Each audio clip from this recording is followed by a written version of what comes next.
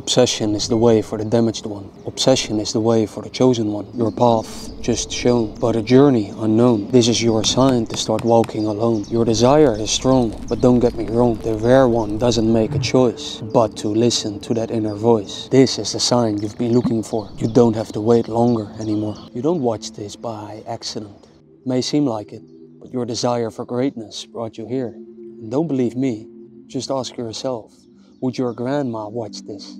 Or would your uncle hear these words? If they did, they would stop watching here. And if you are anything like them, I would recommend doing the same.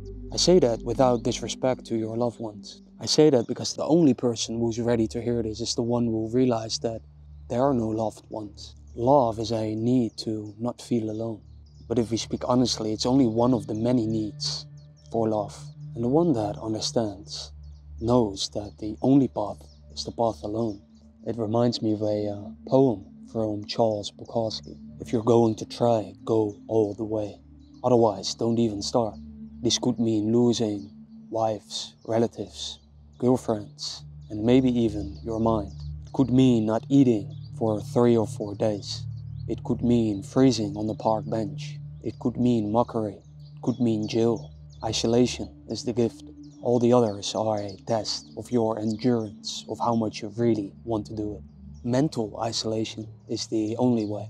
You've been conditioned all your life to believe what is realistic and what is not. To break the three minute mile, you don't need more limitations from humans around you. You don't need more conditioning. You need to go back to your true self. The child who thought he could fly. The child who thought anything was possible the child who did not listen to anyone else but himself. That inner voice is still there. What is it telling you? What does it whisper? You may pause the video here to truly hear it.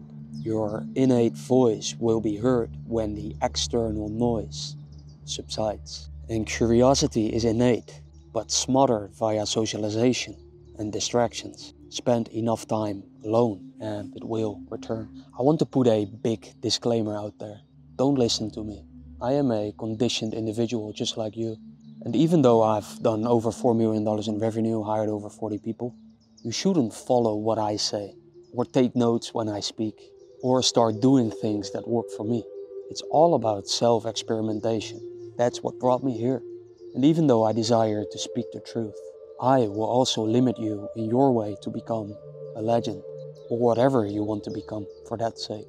And the one who realizes what I just said may stop watching here, or may continue watching, but with his guards high up and his heart closed to any limitations put on him or her by other humans, including me.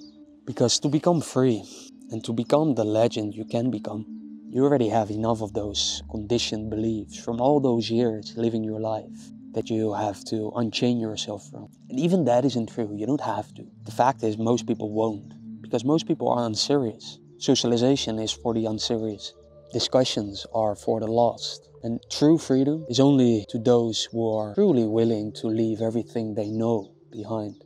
By now, most people have stopped watching. This is either too abstract for them or simply too much to think about. Some are not ready and might return to this 10 years from now. Most will never come back and stay lost forever. By the way, disclaimer I don't understand life. I'm not your mentor. I don't know it all. I'm just a person who tries to understand his mind and what I'm truly capable of. And your mind will trick you to believe that being social is good, that listening to podcasts is good and will help you, and that hard work, doing things consistently, and hope will eventually give you what you want. I'm not saying that these things aren't true, because you won't hear me if I say they won't. Your mind is too loud. But in all honesty, that's a topic for maybe another talk. Your mind is powerful. Learn how to control it, or it will control you. So then the question may arise how can I control my mind? It's a fair question, and again, you don't have to listen to me. In all honesty, I haven't mastered this yet, but I can share this. One thing that works for me for a long time is going out here, in this case in the forest, walking and speaking what my mind is projecting onto me inside, out loud. So practically, I walk, get my phone, start talking to my voice memo recorder, because I still care too much about what other people think of me if I don't do that, right? If I just start talking without anything in my ears, without anything in my hand, I still care too much about that. So that proves to you as well that I'm also just an individual who's flawed and has still a lot to realize. But I know for certain I will reach a point where anything external won't reach me anymore.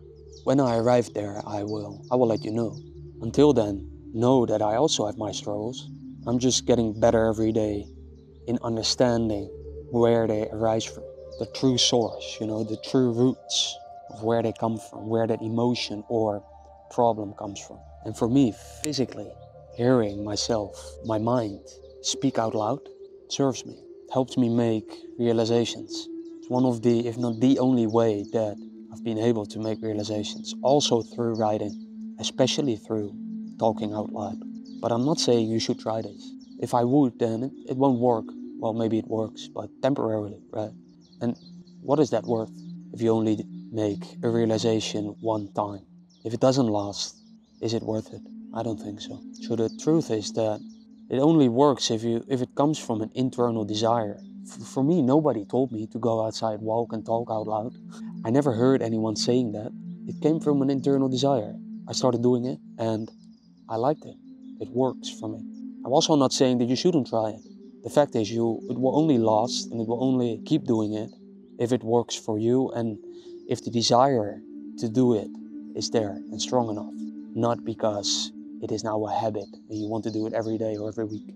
Because it's all about realizations. It's funny because I always believed that it was about habits, hard work, consistency, all those things. Maybe, well, very, I can confidently say that it is because I, I was conditioned and still am.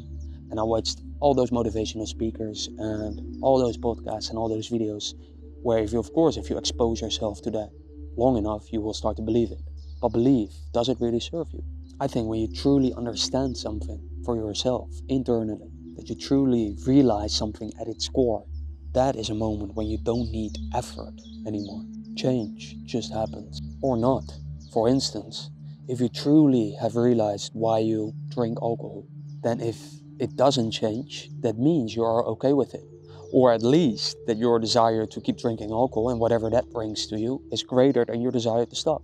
And if you change after that realization, then it means that to you that you're not okay with it. It's only your desire that will tell you what you want more. And now you may think, and of course you can trick your mind to believe that alcohol isn't good for you, and it might even help you stop for some time. But again, that won't last forever. But be warned, when you hear these words, your mind will probably tell you that since you can't change it, that you don't have to do anything and can, can just lie on the couch defeated. Recognize this for what it is. It's another trap of your mind. So, what is there left to do? Nothing. For once in your life, you cannot do anything. Take a moment to think about that. You have been programmed so deeply to always distract yourself with something to do that you never sat down and ask yourself what you are here born to do. I am born to create. If you want to know how I found out, you may watch this video next. And a serious individual may check the show notes. Talk soon.